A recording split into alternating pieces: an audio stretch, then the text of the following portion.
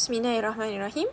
Hari ini kita tengok uh, bab 5 ikatan kimia iaitu asas pembentukan sebatian di bawah topik 5.1. Jadi yang pertamanya kita kena tahu apa maksud sebatian. Yang kita dah pelajari dalam bab 2, sebatian adalah gabungan dua atau lebih unsur secara kimia. Contoh sebatian. Okey, contohnya adalah H2. Nampak tak gabungan dua atau lebih unsur. Yang ni dua dua unsur lah. Sebab ada dua kat sini kan. Ha, so dua unsur. Cuma unsurnya keduanya kedua-duanya adalah sama. Contoh macam tu. Okey, kalau air H2O kan. Okey, ini H2O. Gabungan du, dua atau lebih unsur. Dalam kes air ada tiga unsur. Okey, contoh natrium klorida tu garam masak kat rumah ni. Ini adalah gabungan uh, natrium dengan klorida. So gabungan dua atau lebih unsur. Atau kalau kuprum 2 sulfat, ah ni lagi banyaklah unsur dia. So gabungan dua atau lebih unsur secara kimia itu adalah satu sebatian. Kenapa nak membentuk sebatian? Sebab sesuatu atom itu belum stabil. Ha, kebanyakan atom belum stabil lagi. Jadi matlamat dia nak menjadi stabil. Macam mana nak menjadi stabil? Kena bentuk sebatian lah. Uh, bila dia membentuk sebatian, ap, apa maksud stabil tu? Maksudnya mencapai susunan elektron duplet. Duplet is 2. Ataupun oktet. Oktet is 8 yang stabil. Uh, so nanti kita akan tengok apa maksud duplet. Duplet ni macam mana? Uh, duplet ni hanya akan dicapai oleh petala yang pertama lah. Yang, yang atom yang ada satu petala saja. Uh, which we will see lah. Okey, adakah semua unsur bergabung membentuk sebatian? Tidak. Hanya uh, uh, semua sem, uh, uh, unsur kumpulan 18 dia tak membentuk sebatian. Contoh unsur kumpulan 18 helium, neon, argon, krypton, xenon, radon and organison. Organison ni yang terbarulah. Okey, yang ini boleh tu, uh, tengok pada jadual bekalan unsur. Uh, semua unsur ini adalah daripada kumpulan 18. Mereka tidak membentuk sebatian. Sebab apa? Uh, ni, ini menjawab soalan ini. Kenapa um, unsur kumpulan 18 ni tak membentuk sebatian? Sebab atom unsur kumpulan 18 telah pun mencapai susunan elektron duplet. Yang semua orang nak capai tadi tu. Ha, dia pun dah capai duplet ataupun oktet itu. Ha, duplet ni khas untuk helium lah. Yang lain semua oktet. Maksudnya neon, argon, krypton, xenon, radon, organison ni semua oktet. Okay, so atom unsur kumpulan 18 telah pun mencapai susunan elektron duplet ataupun oktet yang stabil. Jadi atom-atom ni takkan derma elektron, takkan kongsi elektron, takkan terima elektron dengan atom lain. Sebab bila membentuk satu sebatian, uh, atom unsur tu kena uh, kongsi elektron ataupun derma elektron ataupun terima elektron. Jadi bila atom-atom unsur ini sudah dah stabil dah pun jadi dia tak ada nak buat all those things. Dia tak ada nak derma, dia tak ada nak uh, terima ataupun tak ada nak kongsi elektron. Uh, itu hanya untuk unsur kumpulan 18 sahaja.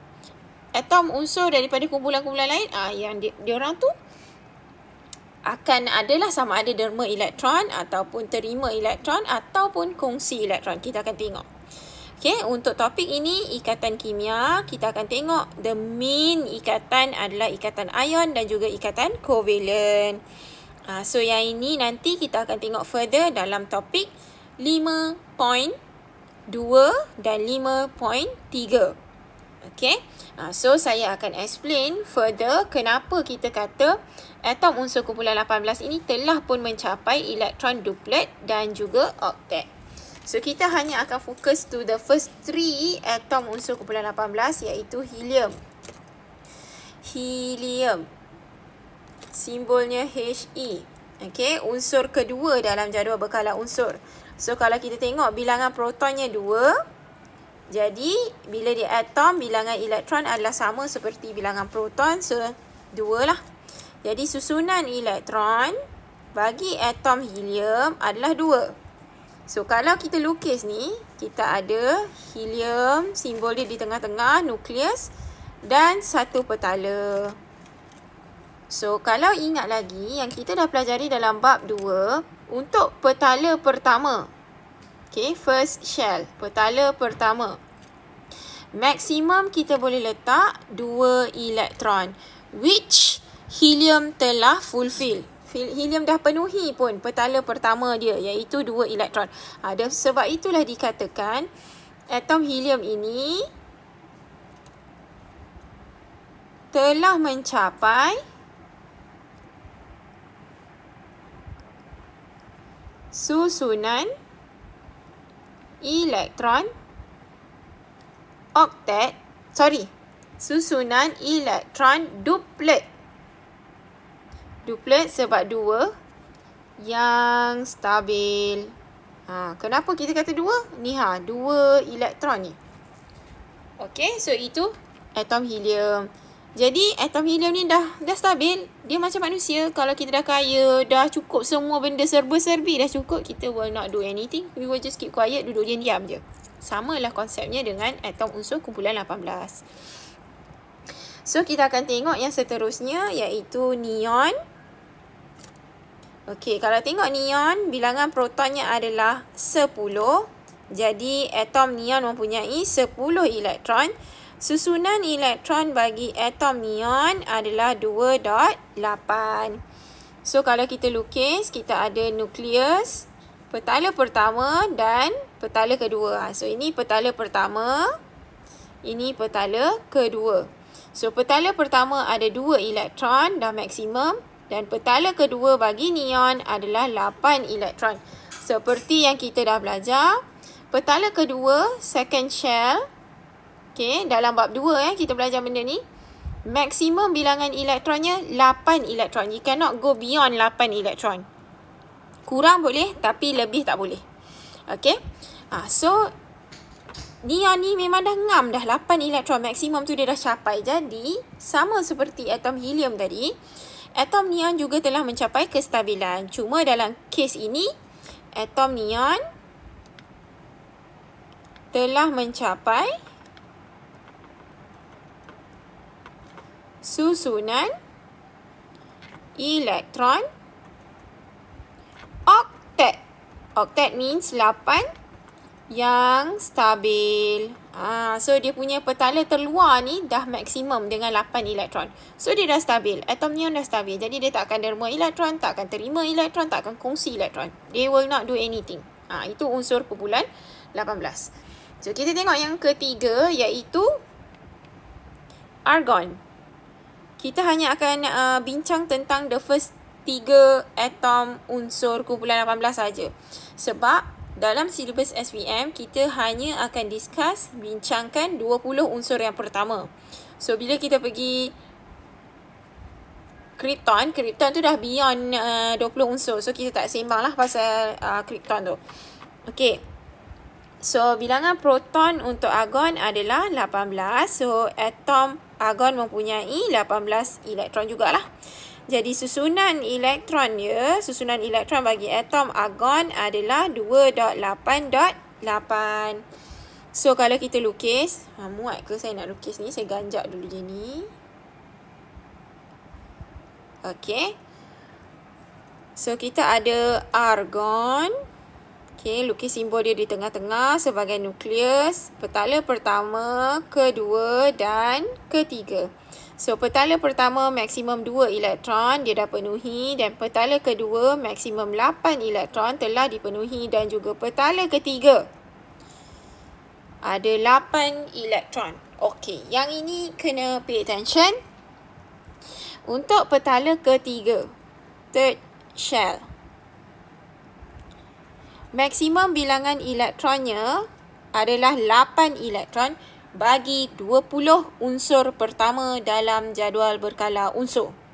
Saya ulang. Untuk petala ketiga, maksimum bilangan elektron yang boleh dimasukkan dalam petala ketiga itu adalah 8 elektron. Syarat ini hanya untuk 20 unsur pertama uh, dalam jadual berkala unsur. Nak ikutkan sebenar-benarnya petala ketiga maksimum boleh isi 18 elektron. Tetapi untuk 20 unsur pertama bukan 18 elektron hanya 8 sahaja. Saya harap itu clear.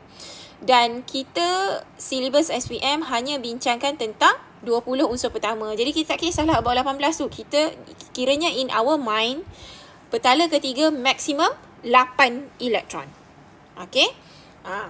So, atom argon juga telah penuhi petala terluar dia iaitu the third shell. Dia ada 8 elektron and maksimum memang kita boleh isi 8 elektron. Jadi sama seperti ahli kumpulan dia yang lain. So, atom argon oh, atom argon juga telah mencapai susunan elektron oktet itu 8 yang stabil. Jadi atom argon tidak akan menderma, tidak akan menerima, tidak akan berkongsi elektron dengan atom unsur lain. So, sebab itulah kalau tengok tadi statement ini, adakah semua unsur bergabung membentuk sebatian? No. Unsur kumpulan 18 tak membentuk sebatian. Unsur kumpulan lain, ya. Ha, so sebab apa? Sebab atom unsur kumpulan 18 ni telah capai susunan elektron duplet ataupun oktet yang stabil. Jadi atom-atom ini takkan derma, takkan terima, takkan kongsi elektron dengan atom lain. So saya harap yang itu clear. Okay. Ha, jadi atom unsur kumpulan lain ni contohnya natrium. Ha, contoh kita sebut tadi natrium klorida ni kan bermaksud telah bergabungnya uh, atom natrium ni dengan atom klorin ni ni. Macam mana dia bergabung, kita akan tengok dalam uh, topik yang seterusnya. Uh, sebab tu kita kata dia bentuk sebatian. Sebab nak jadi stabil. Sebab nak membentuk uh, susunan elektron, dalam kes ini oktet lah yang stabil. Uh, so yang itu yang perlu diketahui daripada topik 5.1. So saya harap clear dan seterusnya kita akan tengok uh, ikatan ion pada topik 5.2. Okey, sekian. Terima kasih.